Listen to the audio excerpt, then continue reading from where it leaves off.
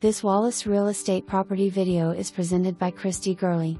A nicely updated farmhouse home with white picket fence in the heart of South Knoxville.